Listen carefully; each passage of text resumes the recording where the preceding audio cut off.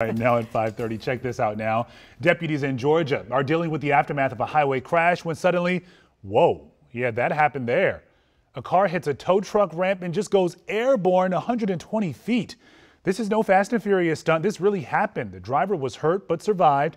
And you might be seeing this all over your news and social media feeds right now, and that's a good thing because it's a stark reminder to obey move over laws. When you see emergency vehicles on the road, simply move over. It could save a life. Mm -hmm.